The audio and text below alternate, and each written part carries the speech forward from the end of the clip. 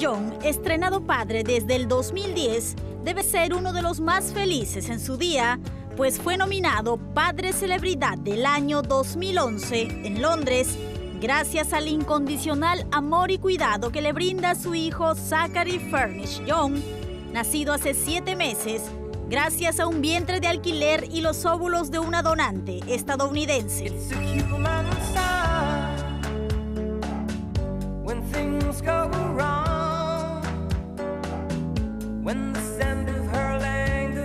Nominación a Padre del Año radica en que ha logrado conjugar sus múltiples actividades propias de una estrella con el cuidado de su hijo, un reconocimiento que llama la atención porque es la primera vez que un hombre homosexual es incluido en una lista al lado de figuras como David Beckham, y es que cada vez son más los famosos que dan que hablar al atreverse a ser padres por cuenta propia.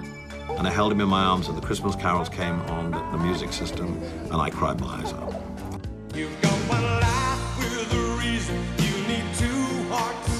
El pequeño Zachary Furnish Young, nacido en Los Ángeles, se ha convertido en el engreído del cantante y de su esposo, el director de cine canadiense David Furnish. Ambos se casaron en 2005 y han declarado sentirse los padres más felices del mundo y han admitido que no tienen problema en cambiar pañales o pasarse las noches en vela con su bebé. La vida de esta pareja siempre genera expectativa porque siempre fueron perseverantes en su intento por tener un hijo. En el 2009 quisieron adoptar un niño ucraniano, pero no lo lograron pues las leyes se lo impidieron. Hoy la suerte les sonríe y pueden disfrutar de su amor en familia como tanto querían. Yo seré el viento que va. La fiebre de la paternidad independiente parece estar muy fuerte entre los famosos, pues hasta Miguel Bosé sorprendió a todos con el anuncio de sus mellizos concebidos también con un vientre de alquiler hace unos meses en un hospital de California. Queridos todos, tengo una buenísima noticia que contaros. He sido papá de dos niños preciosos que ayer cumplieron un mes. Se llaman Diego y Tadeo. Estamos ya en casa y en buena salud. Soy el hombre más feliz de la Tierra. Un abrazo enorme y más adelante más. Miguel. Con estas palabras, Miguel Bosé pasó a la fila de los amorosos padres famosos que concretaron su sueño en la madurez, pues antes había dicho que no tenía valor para ser padre y dirigir el destino de otra persona.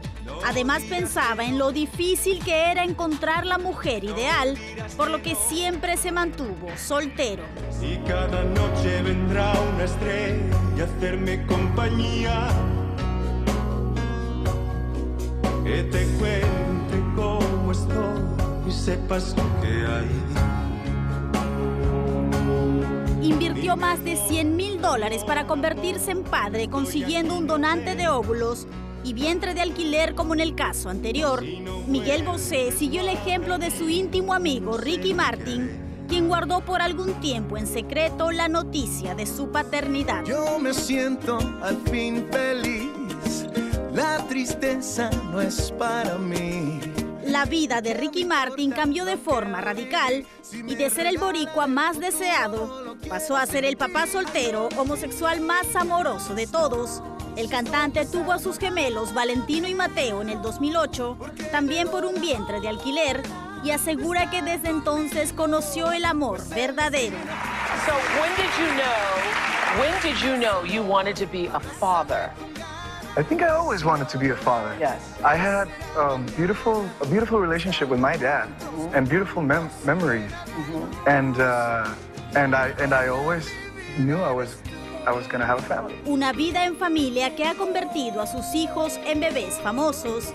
El cantante está tan feliz que acaba de confirmar que para el próximo año, de todas formas, buscará tener una mujercita y agrandar la familia.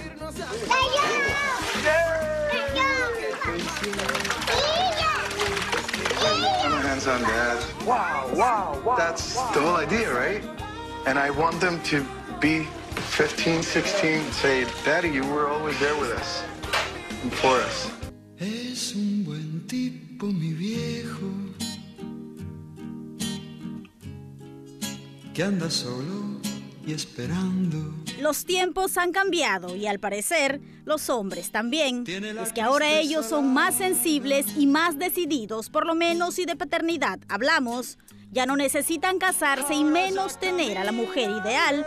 Ahora solo basta voluntad, pero eso sí, bastante dinero para cumplir sus deseos de convertirse en padres biológicos por cuenta propia. Yo soy tu sangre, mi viejo,